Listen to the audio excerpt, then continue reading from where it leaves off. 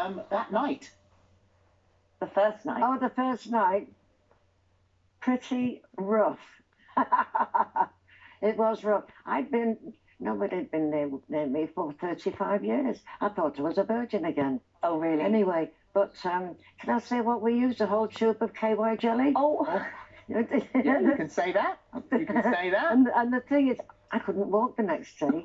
I felt as if I'd been riding a horse. Saddle sore wasn't in it.